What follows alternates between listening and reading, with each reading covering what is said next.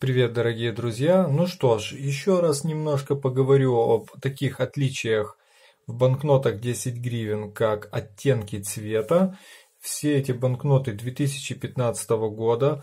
У меня достаточное количество банкнот э, разных годов, и я такого не выявлял, то есть не, не было таких отличий э, в цветах на этих банкнотах. Не знаю, будет ли такое э, как бы катализировано или нет, то есть занесут ли в каталог оттенки вот этих цветов.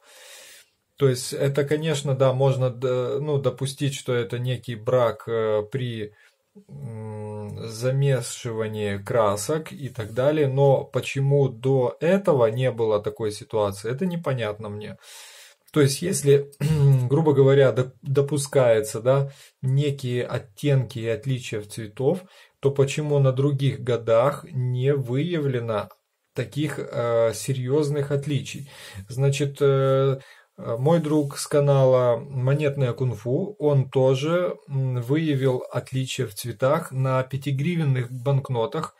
Я такое тоже видел, в принципе, но до своих пятерок я еще не добрался, чтобы конкретно повыбирать оттенки. Но, допустим, в 20 гривен такого я не нашел. А, и в других любых номиналах э, тоже за 2000, ну, за период правления Гонтаревой или Гонтаревой я таки не выявил.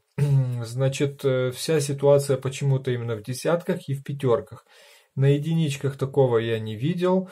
На сотках э, нового и старого образца, и на пятисотках, и на полтинниках я тоже не выявил таких отличий в цветах.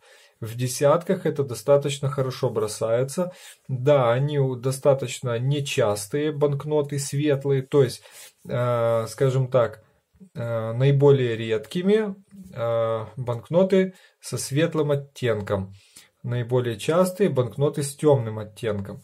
И вот даже здесь я специально представил несколько видов, то есть, скажем так, прямо как от большего к меньшему, да, то есть темнее, чуть светлее, светлее и супер светлые. То есть примерно так их где-то и видно. То есть вот светлая, темная, светлая э, такая чуть, ну, короче, это светлее, чем это, но темнее, чем это. Ну и вот они вот примерно так. Притом номера, смотрите, вот светлая, то есть двоечка стоит, то есть неважно, это может быть и шестерка, там и тройка, видите, четверка вот тоже светлая, двойка светлая.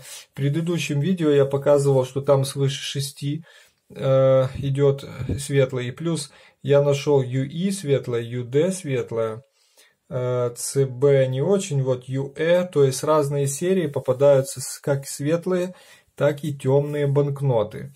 Значит, э, как можно к этому отнестись? Можно не обращать на это абсолютно никакого внимания и типа взял одну банкноту и положил себе в альбом. Но, с другой стороны, вот я сейчас вам показал, грубо говоря, несколько банкнот.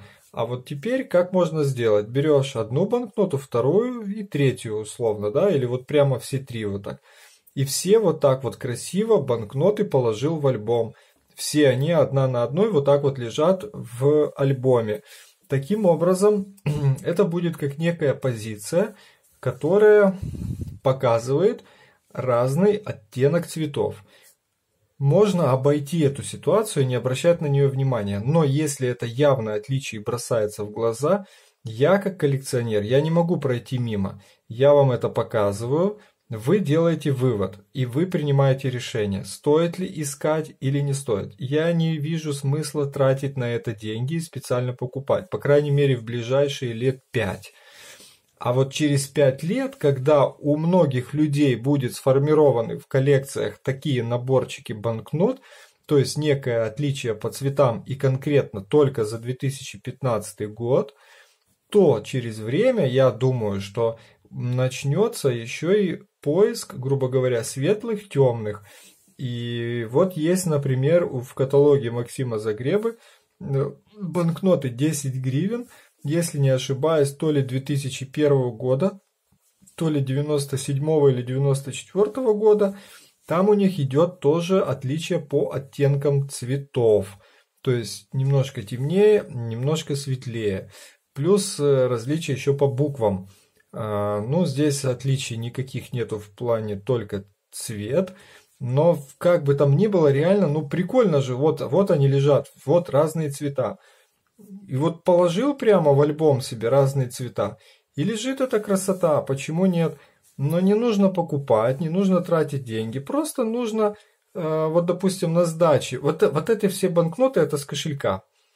То есть это все, что я получал на сдаче. Я не брал это в банке или еще где-то.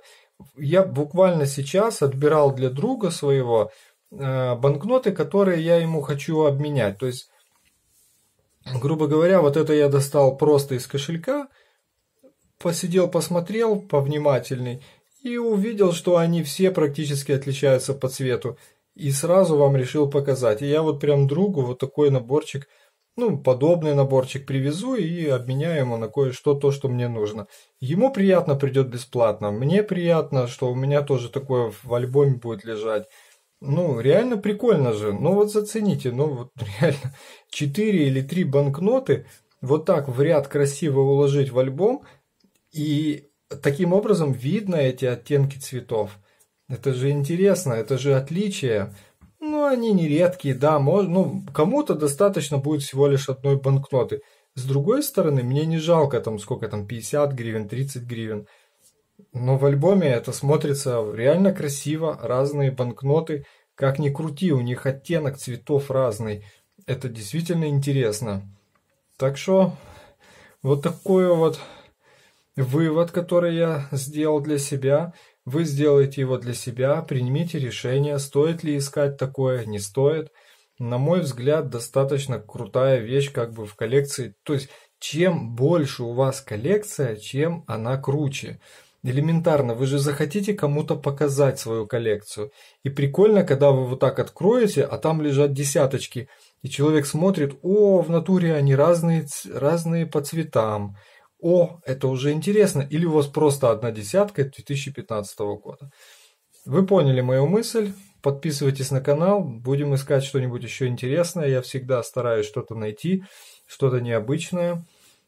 Подписывайтесь на канал, всем удачи, пока.